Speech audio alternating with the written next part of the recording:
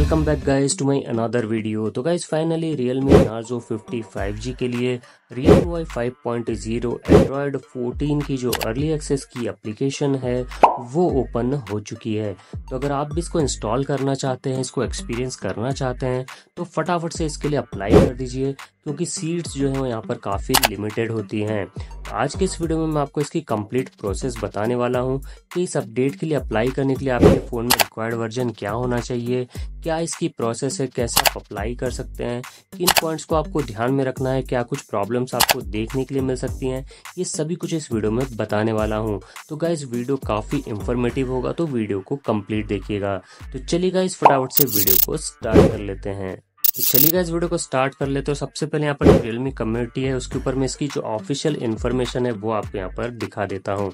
तो आप देख सकते हैं स्क्रीन पर Realme Y five point zero based on Android fourteen early access application open for Realme Narzo fifty five G तो ये हो गए दोस्तों यहाँ पर इसकी ऑफिशियल इन्फॉर्मेशन अब बात करें कि इन यूज़र्स को ये अपडेट मिलेगा, यानी कि आपके फ़ोन का रिक्वायर्ड वर्जन क्या होना चाहिए। तो जो रिक्वायर्ड वर्जन है, वो है eleven dot C dot zero seven eleven dot C dot zero eight या फिर eleven dot C dot zero nine इन तीनों में से कोई भी वर्जन अगर आपके डिवाइस में है तो आप इस अपडेट के लिए अप्लाई कर सकते हैं और आपको ये अपडेट जो है वो मिल जाएगा। ये हो गया दोस्तों यहाँ पर इसके रिक्वायर्ड वर्जन की बात। अब मैं आपको बता देता हूँ कि कैसे आप इसके लिए अप्लाई कर सकते हैं, इसकी प्रोसेस क्या है। तो गाइज़ अर्ली एक्सेस के लिए अप्लाई करने के लिए सबसे पहले आपको अपने फ़ोन की सेटिंग्स में जाना है। वहाँ पर आपको सॉफ्टवेयर अपडेट वाले पेज पर जाना है। आपको राइट साइड कॉर्नर में जो थ्री डॉट्स दिख रहे हैं, उस पर आपको क्लिक करना है। वहाँ पर आपको बीटा प्रोग्राम लिखा हुआ दिखाई देगा, उस पर आपको क्लिक करना है। अब आपके सामने जो पेज ओपन होगा, वहाँ पर आपको अर्ली एक्सेस लिखा हुआ दिखाई देगा। आपको उस अर्ली एक्सेस पर क्लिक करना है। अब आपके सामने एक अप्लीकेशन नोटिस ओपन हो जाएगा, जिसमें कि थोड़ी देर बाद आपको नीचे अप्लाई नाव का बटन जो है वो इनेबल देखने के लिए मिल जाएगा। आपको उस अप्लाई नाउ पर क्लिक करना है। अब आपके सामने जो पेज ओपन होगा, उसमें आपको अपना मोबाइल नंबर या फिर ईमेल आईडी डालना है और नीचे जो यहाँ पर कंसेंट है टर्म्स एंड कंडीशंस का वो आपको चेक करना है और सिंपली सबमिट बटन पर सबमिट कर देना है।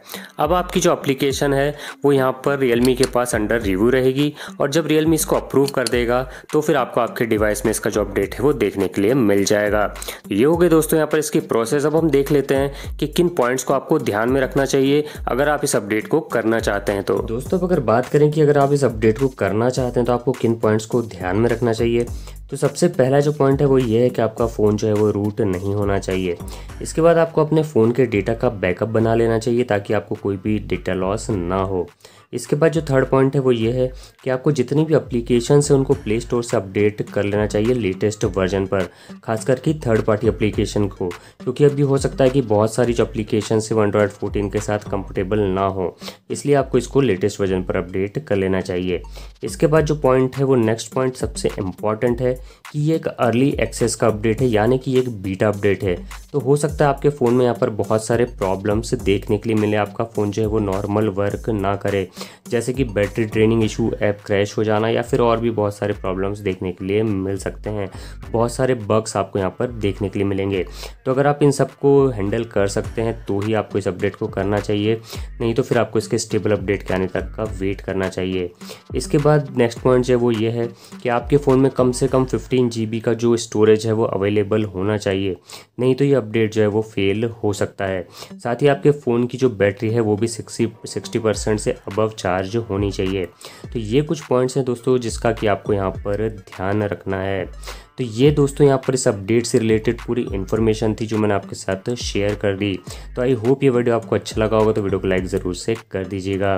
तो इस वीडियो में दोस्तों बस इतना ही था। मिलते हैं फिर किसी नेक्स्ट वीडियो में। तब तक के लिए जय हिंद।